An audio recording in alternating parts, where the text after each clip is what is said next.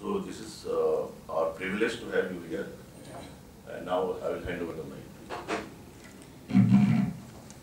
Actually, you summarized the content of my, the content of my speech so well already that we can all go home.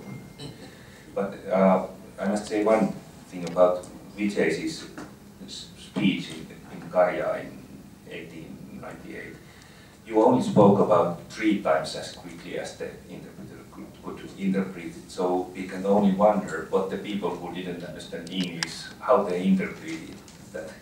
But still, still most of the people understood English, uh, and Vijay actually made huge impact on, on the Finnish movement scheme then, because very many, a substantial segment of the, of the Finnish popular movements then changed their attitude in the sense that they started thinking that having a common political perspective together with some southern movements is more important than trying to put together uh, development cooperation process and give, give financial aid to, to, to organizations in the south. Uh, after that, we started to think that this can still, in exceptional cases, there, there may be a reason for doing this, but this should definitely not, not be the main way to relate to movements in the south.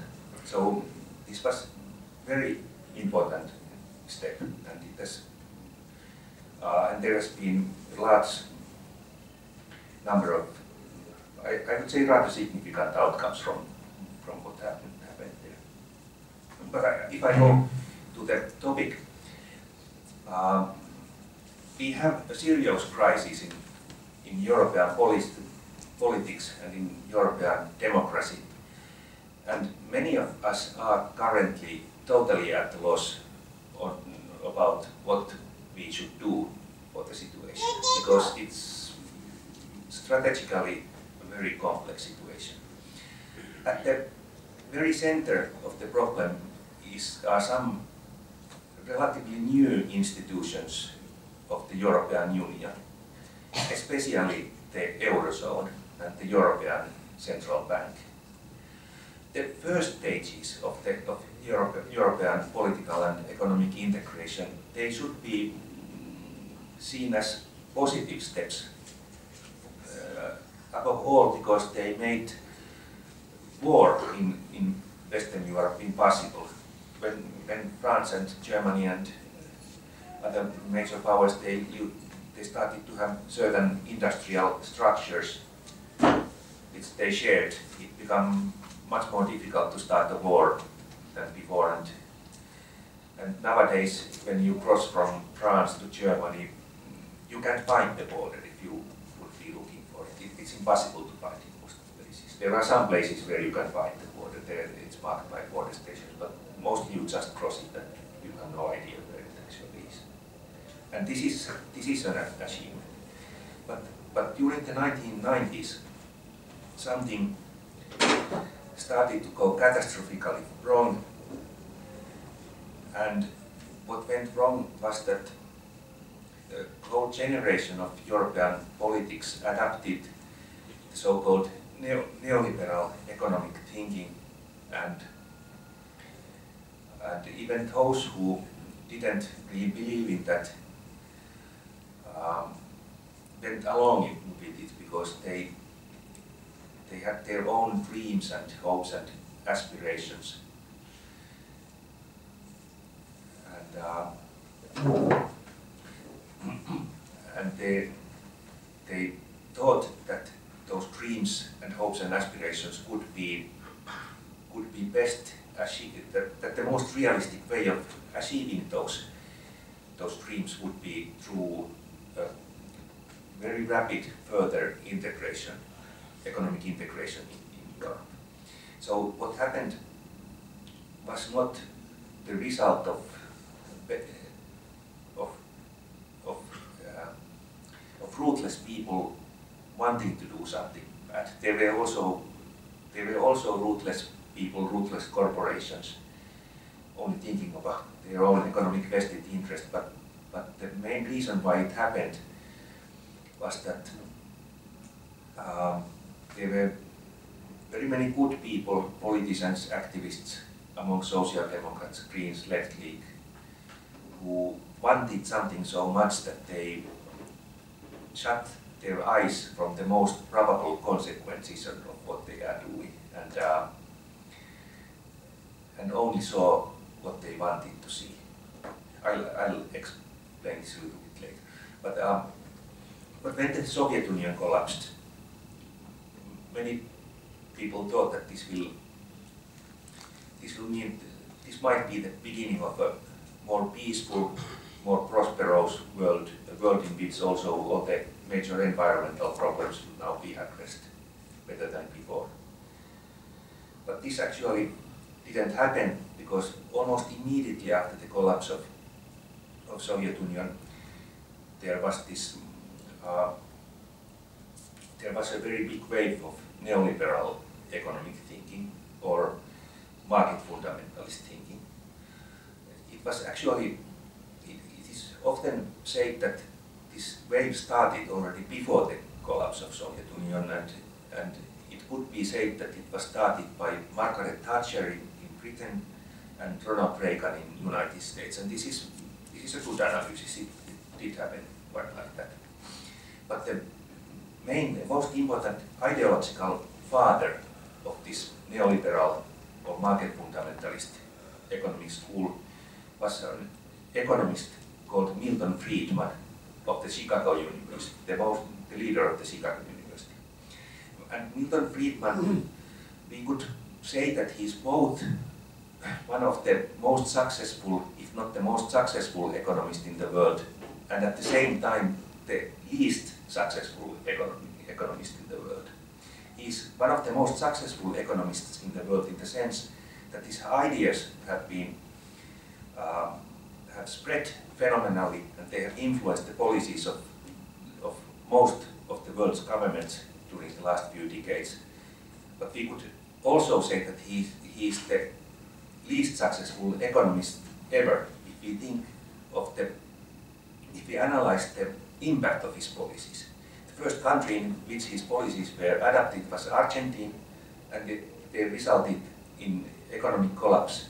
When they, they were implemented uh, more widely in, in Latin America, the result was the so-called Latin America's lost decade. When they were implemented widely in Africa, result was Africa's, Africa's lost quarter century. Now they are being implemented in Europe, and the result has been what Joseph Stiglitz, a famous Nobel uh, economic prize winner, is calling Europe's, Europe's lost decade. And, and Stiglitz is saying that uh, if corrective moves will not be made soon, this Europe's lost decade might well become Europe's lost quarter century, century Europe's lost half a century, Europe's lost century, or even two centuries. Uh, this sounds uh, bad, but actually the situation is is rather serious at the moment. Well, because of this neoliberal uh, wave, in all over the world, uh, state-owned co state-owned companies were privatized. Uh, there were different free trade agreements multi, multilateral and, and bilateral World Trade Organization was established. and um, there was also uh, a, a sustained effort to cut government spending on, on areas like education, health, social security, um, unemployment benefits. Actually, overall government spending in almost no country decreased. Government spending increased, but it was spent differently. It was spent to support corporations, it was spent, spent in, in larger armaments budget, and so on. So the, so the idea that this was about cutting government spending almost never happened. Uh, but it was, it was during the height of this neoliberal wave, when this market fundamentalist thinking, uh, the thinking according to which markets are always the most efficient way of handling everything. It was at the height of this wave when some new, very important institutions were created inside Europe. First, European Union, which replaced the older, older EEC, was established in 92. And a little bit later, European uh, Central Bank and the so-called Eurozone, an area of Europe, countries which all have the same currency. And the, creating a common currency and common at the, at the Central European Bank, this was seen by very many European politicians, including the liberal right, including social democrats, including Greens, including most of the left. By, by all of these streams of political thinking, this was seen as something important and necessary, constructive, something that, that reduces borders inside Europe and which will do a lot of good for Euro- European people uh, and for the rest of the world perhaps as well. But, but the problem was that, that this was done during the time when, when this neoliberal wave and the, and the belief in, in the, in the, uh, in the, in the markets was, was the most strong. And this, this was, this influenced the way uh, the Eurozone zone was designed, the way European Union was designed, the way uh, the European Central Bank was designed. And uh, the most important single thing which was done when Eurozone was created and when uh, uh, the European Central Bank was established was that the right to make money was transferred from governments to private banks. There was no public discussion about this before it happened. And actually, no one in the activist circles understood how important this decision is. I- had no couldn't see it, no, no one else could. I, I don't know about anybody who, who would have seen it, but it was, now it's very easy to see how important it is. Because almost 30 persons who have received the Nobel Prize in economics have, have said certain things about Eurozone and these mistakes. 30 Nobelists. Um, the most uh, important of them, Joseph Stiglitz, who have written the best book about the, about these problems, the euro. I highly recommend it. Um, but the crux of the matter is that money actually is not anything uh, real. Money is an abstraction. It's a it's something that you only have to to make exchange of services and goods possible. Money in itself, it's an agreement, an abstraction. It's not it's nothing real. So as long as each government has its own uh, central bank, it can loan from itself. And if it doesn't, uh, if it, if it re- restricts its spending to an extent, it means that the money lends from itself doesn't really necessarily mean anything. Because there are ways of, of, of cancelling these debts every now and then. Uh, and if you look, look at the United States, it is overspending hugely, but it's lending from, from itself, from its own central bank, and nobody pays any attention, really. And it, and it still gets the, gets the loans. But it's a totally different matter if you, if the government starts lending the same money, not from itself, but from private banks. Because loans taken from private banks they are very real suddenly. and because of this um, um, change, um, all the governments in the Eurozone, also the most successful countries in the economically the most successful countries in the Eurozone, like, like Germany and Finland. Even, even Germany and Finland uh, have run out of money. They, they, even Germany and Finland are in a situation in which they have to have to follow very strict austerity policies, even during the years when economy is doing doing fine. The years when, when there is a stagnation, they have to follow very strict uh, austerity policies indeed. Even the, the economically most successful countries in the Eurozone.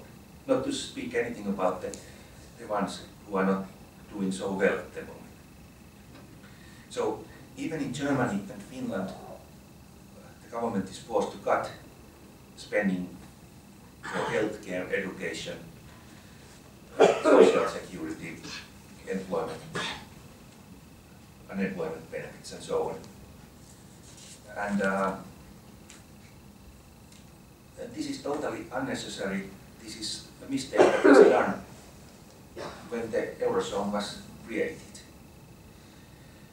Uh, and there are some additional problems related to the Eurozone. One of them is that the countries in the zone are very different. They have very different economies. They, their strengths and weaknesses are in different sectors. So they are influenced very differently by, by any kinds of crises in, the global economy. This called, these are called asymmetric shocks. So when there is a recession, well, when the US economy collapses, or when there is a recession, it means very different, different things for Greece, Spain, Finland, Germany. And each of these countries should have very different economic policies to, to ease the situation. But, but the Eurozone forces all of them to, to follow the same policy, continued austerity.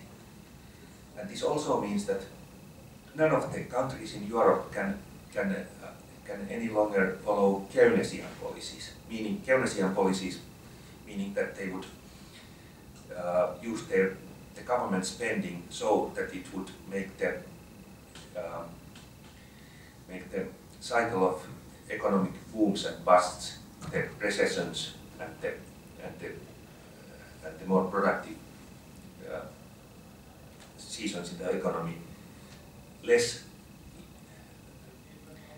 uh, dramatic. less dramatic. And dramatic. Yeah, yeah. Now Dramatic. Yeah.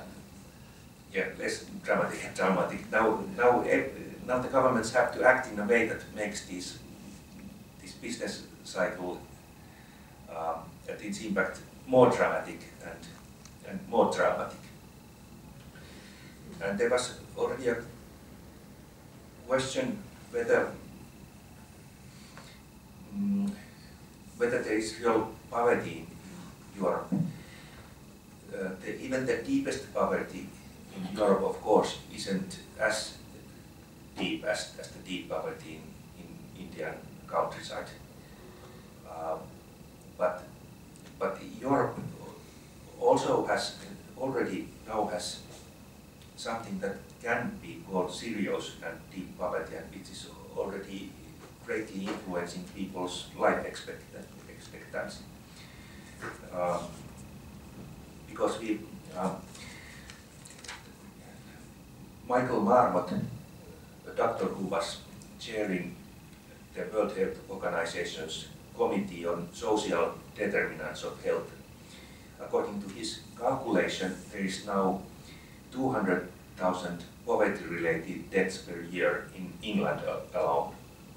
He's saying his calculation based on, on, uh, on statistics. He's comparing the life expectancy of, of people who are between 30 and 75 years of, of age, and he's comparing the life expectancy of people who have university education to the life expectancy of the people who don't have university education. And by, by according to this calculation, if everybody who doesn't have a university education would live as long a life as those who have a university education, there would be 202,000 less premature, premature deaths per year in England alone. Uh, so the mortality among these, these age classes would be only half of what it is now. And uh, this is this is austerity politics, it's growing inequality. In some cities of, of, of Britain, the lifespan gradient is 28 years. For example, for instance, in Glasgow, the lifespan gradient is 28 years. So the poorest areas of Glasgow, uh, in the poorest areas of Glasgow, men die on average 28 years earlier than in the richest areas of Glasgow. 28 years. It's, it's new in, in Europe. And the, in a way, the most serious thing is that uh, because of the Eurozone made it so difficult for Europe to uh, adjust to the crisis which was caused by the economic collapse in United States in 2008.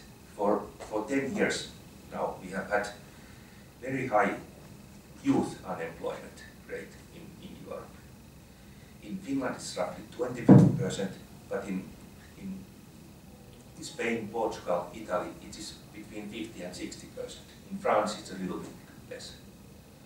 And this has been there for a decade. And this is, this is the one thing that uh, progressive economists like Joseph Stiglitz are especially warning about. They are saying that if you have a youth employment rate of 50 or 60 percent for a decade and it continues so that you will have it for several decades or, or even for 20 years, you will permanently use permanent, permanently lose these people, these young, young people. And, uh, and he says that because of this reason, if, if you are not able to make any corrective moves soon, uh, then you will create a permanent economic stagnation for Europe that could last for very long time, even half a century or a century. But, but perhaps the most serious problem this is causing is that is the crisis in democracy and the rise of the populist rightist movements. Because this straitjacket created by the new institutions of the European Union and the European Central Bank and the Eurozone, they are causing each subsequent, uh, each, each subsequent government to follow almost the same policies, no matter which parties are, are in power.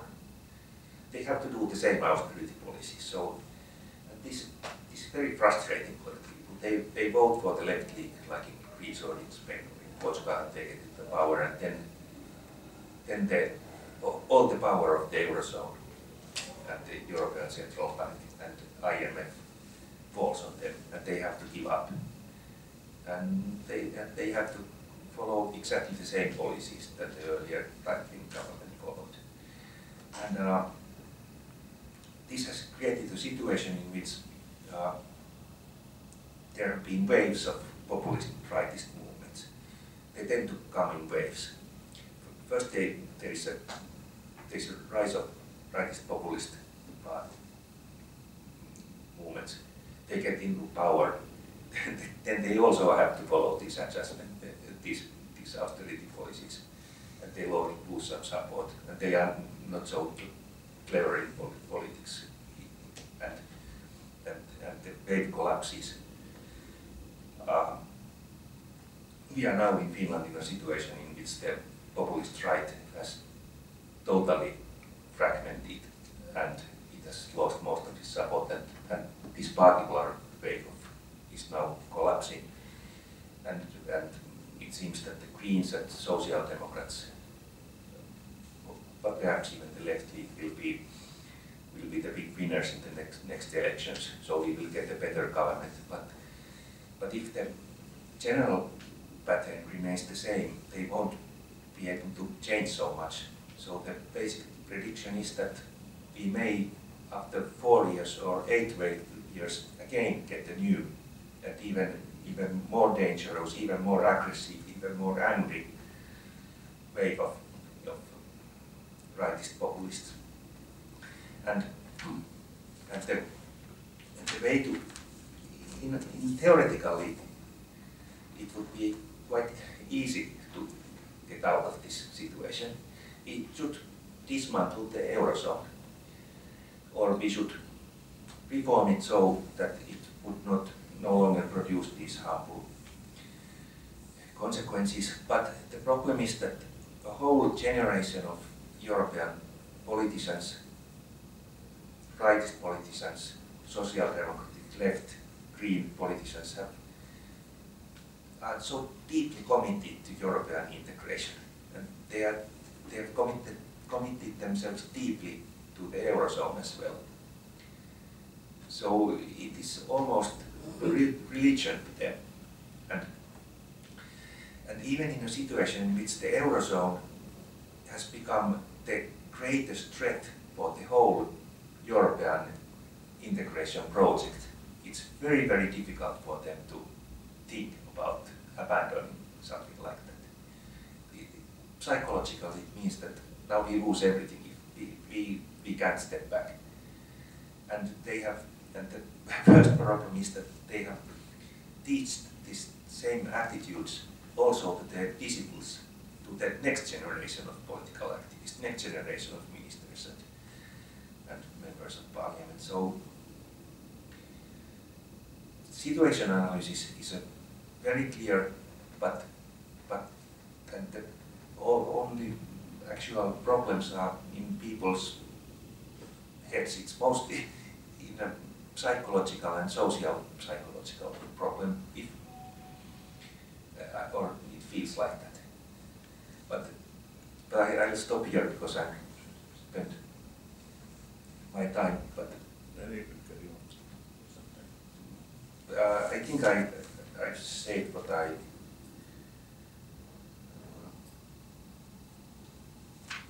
what I wanted to say, but I will, I, I'll add one more, more thing. I, uh, or perhaps it's, it's better that, that I stop here. I, I only say that, that very many of the Finnish activists and European activists don't really know how to break this deadlock. But if, if we don't break this deadlock, mm, results could be relatively dangerous. There, there are already a number of European countries which are dominated by, by rather nasty right-wing parties. Poland is, is, is even abandoning the, the idea that, that the court system should be separate from, from governmental power, which is phenomenal in, in European context. Mm-hmm. It's a long time anybody has even thought anything like that. and uh, then, so, so if, if there are no corrective moves, there will definitely be more problems with the, the populist right.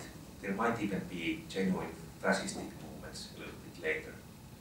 But then I'm especially afraid of the of the children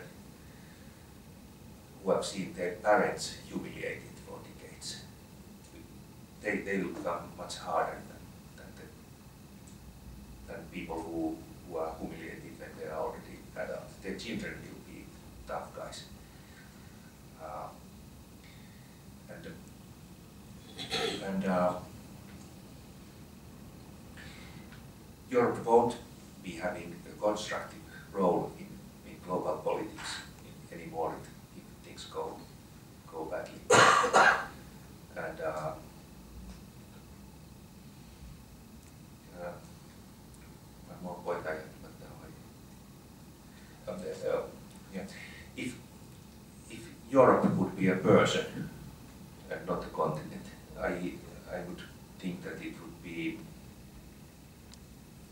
I would say that Europe richly deserves everything like it gets, because during the colonial period, Europe did so much damage for all the other continents. But but Europe is not not a person; it's a continent and with 800 million people, and none of those people were alive during the colonial period, so they are they cannot really be blamed for anything that happened at that time. And and what happens to hundreds of millions of people in Europe now, it's, it's equally sad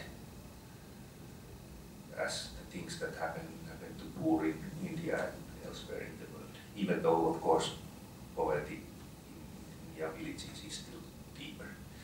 But, uh, if we don't think only the economic standards, in some ways, poverty in Europe is nastier than sometimes it can be nastier than the poverty in India because in European contexts people have less social security networks. When you are the poor people in Europe can be totally alone. They are often people who don't have a single friend, who don't know almost anybody. I don't think that this this is very common in India. Even the poorest people in the villages, they probably know quite a few other people. So in a way, what happens in Europe is, is worse than it might seem out if you only look at the economic standards. But now I stop. Thank you.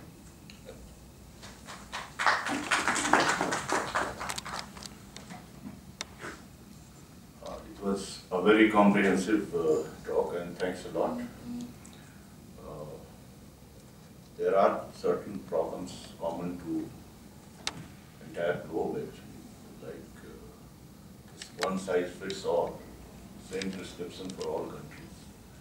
It's creating uh, its own set of problem as you have told in Europe, particularly right now it is in transition. And uh, most of the political parties groups, uh, they are, I don't know, you can throw uh, a better light on it. Whether they have, uh, there is a felt need to change the programmatic understanding or policy paradigm. Are they thinking of, let's say, the politics of today uh, can be changed only if we have some futuristic perspective? Is there any discussion among social democratic parties or even left parties or green groups about uh, some policy imperatives for the future? Only on that basis you can, we can build the present. Otherwise it will be ad hocism. So are we passing through ad hocism or there is some felt need and there is some discussion on these things? This is my question to you. There, there are discussions among all these parties, but I would say that the main problem is that uh, theoretically there are three possible solutions to this Eurozone problem. One is what I mentioned, dismantling the Eurozone in some constructive way. Uh, other, other possibility is what Joseph Stiglitz called, calls uh, flexible euro. So it would mean that all the Eurozone countries would keep on using euros, similarly looking, looking currencies, but, but they would be separate currencies in practice, so that there would, would not be these problems, and they would have their own central banks again. This would, and, and then there's the third possibility, which, which is to go full-scale eco economic and political integration and make Europe um, a federal state like United States or of America or, or the Indian Union. And, uh, but this third one is the only one that is that is only medicine that is not really uh, realistic option and which would might be worse than the disease because we already have this rightist populist movements and their number one weapon is that they are opposing immigration and, and European integration. And, and in, in this kind of situation we have now, now in Europe, it's not really feasible to start talking about all the things that, that solving the problem via full-scale federalization would take. Because it would mean, for example, huge shifts resources from, from the richer countries in Europe to the, to the countries which are doing too bad. And, and only a very tiny percentage of the European population currently supports policies like, like this. But the leaders of social democrats and the rightist parties and also the green parties, this is the uh, only solution model they are thinking about. This they are they been stuck to this model. This is what, what Angela Merkel and others are still trying to do. It's it's hopeless, and if they will be able to make major uh, moves towards that direction, the most important thing they will do is that they will strengthen the populist right more. And then it will collapse. I hope I answered. So thanks. Uh, Now it is open for discussion. Dr. Uh, uh, General Sahgal has raised his hands first, after that you. Yeah. General Sahgal, please. Mr. Isomaki, thank you for your talk. It's a very different dimension because mostly all the talks I've heard are geopolitics. And you've given a dimension which is very interesting for me and all of us. One clarification and one question. Clarification is you said the population of Europe 800 million. I thought it was 500 million plus. Yeah. That's the clear, then I ask the question. Uh, In, in that part, I, I refer to whole of Europe, not only European Okay, Union. okay, thank you. But Because, because also Russia was involved in I thought so, I colonial. thought so, wonderful. Now the question is, besides the economic aspects that you mentioned, it's interesting that you just juxtaposed Milton Friedman and Joseph Stiglitz, and that's what made your talk very interesting. But because of this large, very large immigration and the policies that Mr. Trump is following, Europe is already dividing itself into three distinct compartments. One is Western Europe, Germany, France. Second is the Visegrad Group, which has come up and it has its own policies and it is defying the European Union. And third is Eastern Europe, where, which is because it's poor, immigrants don't want to go there. So this automatically leads to compartment. What is, do you agree with this? And what is the effect of this going to be? I, I agree with that, but uh, I would say that there are also some other factors which are, which are fragmenting further. So, so in reality, the Euro- European Union is at the moment falling to pieces. Nobody wants to say it, but at the moment, that's what, what's happening, like you said, but, but there are immigration, the factors which you mentioned are, are all important. But, but there are also other kinds of tensions under the, under the surface. And uh, one of them is that, that um, because of the Euro, Eurozone has, has both increased the uh, income and wealth differences uh, inside the Eurozone, it was supposed to reduce them, but it has increased the income differences between the countries. Um, and uh, Germany is benefiting the most. All the others are suffering, but, but Greece, Greece has suffered the most, and, and then Portugal, Spain, Italy have also suffered a lot. So this is also one. And, uh, and besides this, uh, the processes uh, affecting also the income and wealth differences inside each country. And this is, this is happening with a frightening speed. So there are, I, I'm only saying that there are, there's a growing number of all kinds of tensions in Europe. Of course, you are here very familiar with the situation like that, that you have somehow been able to live with the many times more complex situation for, for quite a long time. So we probably would, could use some consult, consultation help from you quite soon. Mr. Chairman, just a.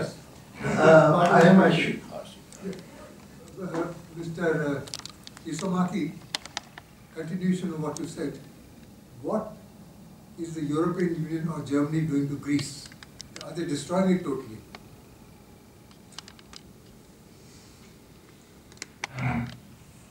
Destroying their Uh, politics. They have caused a situation in which it's impossible for Greece to, to get into its feet uh, as long as, as it's part of the Eurozone.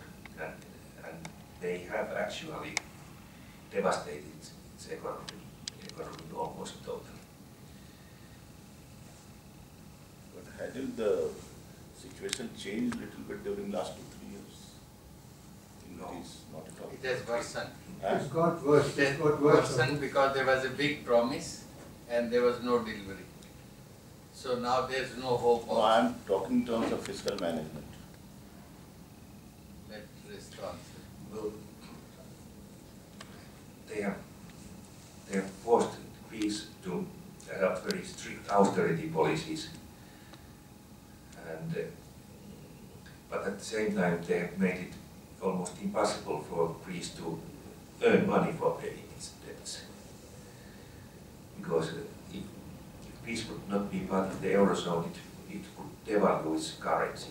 There would be more tourists going, and more, more people buying Greek agricultural products and so on. And they, they would, would start, they would start paying their debts little by little.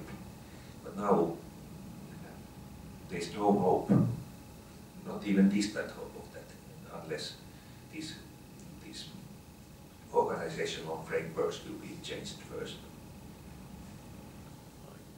Uh, I am Ashok Bhushan. I want to point out, recently we had the Brexit. That if we analyze the cause of Brexit, it is the urban voters who wanted to stay in European Union. It is the rural voters who say, who feel that they have not got the fruits of liberalization. They opted for Brexit is such, uh, and in European Union, the rest of the countries, there is a great assertion for national identity. Do you feel that there may be further breakup of the European Union in this context because of un- unequal development and fruits of globalization not distributed equally or equitably, as we have seen in Britain itself. Next question is, how do you feel the relation of European Union towards the Eurasian countries, Ukraine, Russia and others? And is there is a possibility of Turkey's entry into European Union? The last one is easy, not in the near future, there is no possibility of Turkey entering. Um, um, If, if there will not be corrective moves, um, there will sooner or later be other countries breaking out of European Union. Nobody can say exactly when it happens. My guess is that when there is the next big economic shock, it will create a situation it will be too much for the people of some countries and they, they will break out. They, they will think that, that this, even whatever mm, European Union and IMF is going to do for us, it cannot be worse than this. Um, that would be my, my guess, but nobody knows. I hope that there will be corrective moves to prevent this.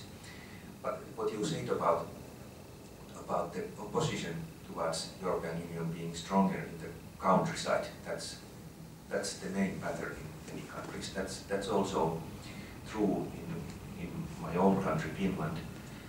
And uh, that is, uh, the main reason for that is that in Finland, uh, uh, the European Union policies, even before the Eurozone, they, they wiped out most of farms, so they, the employment opportunities in the, in the rural areas were reduced in the major way.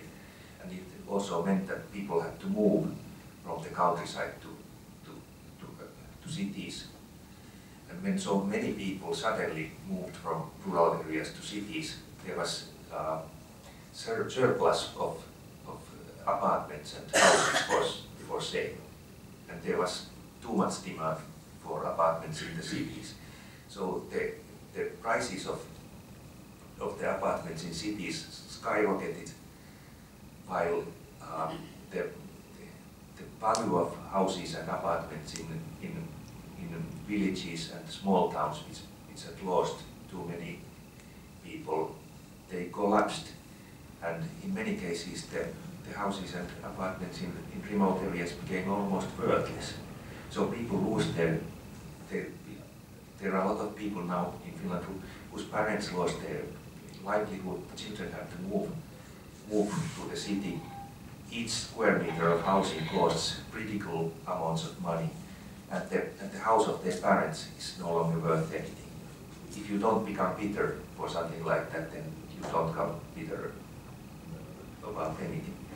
And, uh, and um, there are some, some rural or semi-rural centers, provincial centers that have, that have done quite well and means there is a lot of support for, for the union.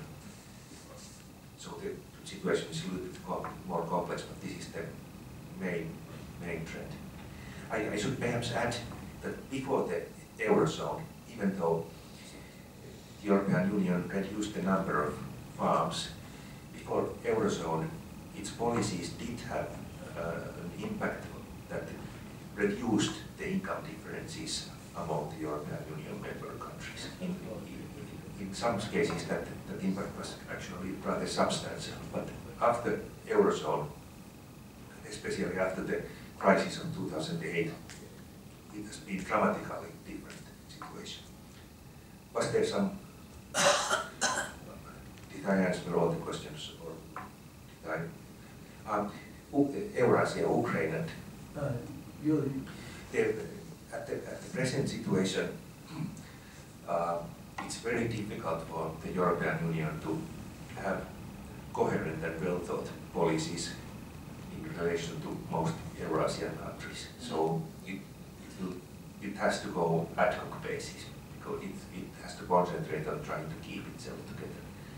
But um, what comes to crisis in Ukraine, that uh, in, that is something in which the, both the US and the European Union acted very, very stupidly. And I would say that the Ukrainian civil war is their creation. They, they made some very stupid moves. First, first, the Americans and also the Europeans, several times they made some promises to, to Putin. They said that, that we won't expand NATO to the Baltic countries and so on. Then almost immediately when, when they have promised this, they, they do it. And, and they did many, many things like that. So, so we shouldn't be too, too surprised by, by the Russians became paranoid again, like, like in, during the Cold War. And then, then how this Ukrainian situation developed. Uh, the, the trigger that started it was, was a pre-trade agreement that, that was to be signed between Ukraine and the European Union. And because Russia had free trade agreement with, with, with Ukraine, all the European products would have been able to come inside Russia through Ukraine and, and they would have wiped out much of Russian production almost immediately. So this was something the Russians just could, could not live with. And, and that, that started the process. It was, um, I, I'm not defending the invasion to Crimea. I'm not defending anything Putin has done, but I'm just saying that it was very bad di- diplomacy, both from the European Union and from, from United States. They really messed up things. That was totally unnecessary. Yeah. I request you to come here, because you have to sum up. No, no, you began, so you will sum up. I Just tell you one only rule. One question.